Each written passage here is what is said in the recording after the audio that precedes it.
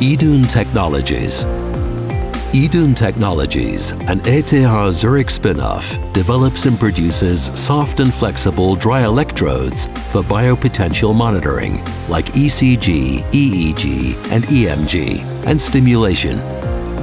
The novel bio-inspired surface of these electrodes combines clinical signal quality with skin-friendly materials without electrolyte gel.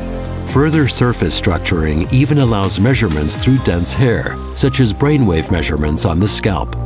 The patent-pending development enhances measurement quality by increasing the contact area with the skin and reduces motion artifacts by better attachment to the skin surface.